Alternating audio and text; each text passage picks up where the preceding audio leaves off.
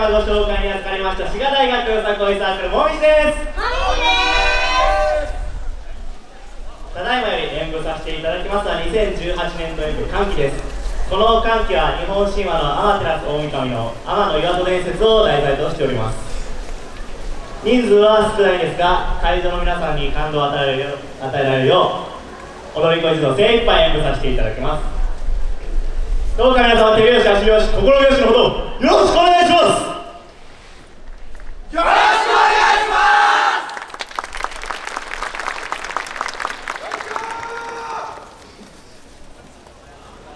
受け継がれし